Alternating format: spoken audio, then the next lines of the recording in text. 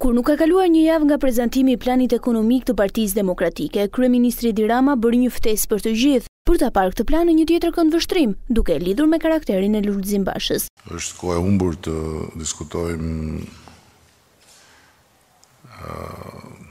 propozimet e Partisë Demokratike. Pasi në tërësinë e vet programi i Partisë Demokratike është si karakteri i liderit të Partisë Demokratike, i dobët dhe pa shtyllë kurrizore. Me taksën e sheshtë të propozuar nga Lulzim Basha, kryeministri Edi Rama thotë se vendi do të humbiste pesëqind e tridhjetë milionë euro taksa. Duke u zotuar se diçka të tillë nuk do ta lejojë, kreu i qeverisë premtoi dhe uljen e tatimit për të ardhurat personale.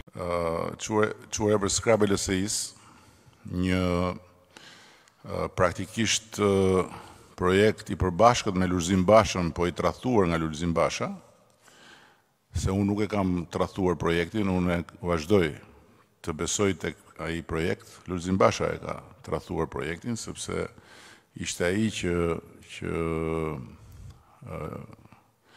e ndau me demokratët domosdoshmërinë për ta çuar LSI-në për skrap. Teksa foli për LSI-në, kryeministri zbardhi një plan të bërë me Lulzim Bashën vite më parë, për të çuar për skrap këtë parti, që sipas tij është veçse një sistem që duhet çmontuar. Taksa e sheshtë është taksë për të pasurit. Natyrisht që ne jemi të vetëdijshëm për nevojën që të bëjmë një ri një ri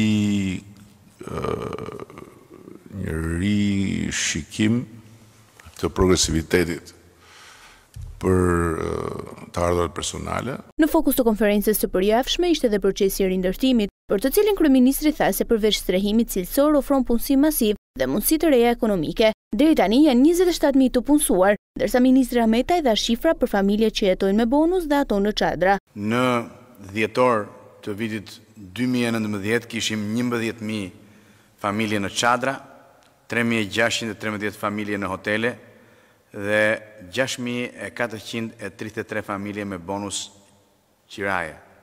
Ndërkohë që në datën pesëmbëdhjetë shkurt aprovohet në Romë edhe kredia shumë e butë prej nëntëdhjetë milionë eurosh e ndarë në tre shtylla, është Agjencia e Mbrojtjes Civile, është Bujqësia në kuadrin e rimëkëmbjes dhe Energjia po në kuadrin e rimëkëmbjes. Ahmetaj foli dhe për programin e Partisë Demokratike, që sipas tij, ulja e kontributit të sigurimeve shoqërore nga njëzet e katër pikë pesë përqind në tetëmbëdhjetë përqind është tallje me shqiptarët.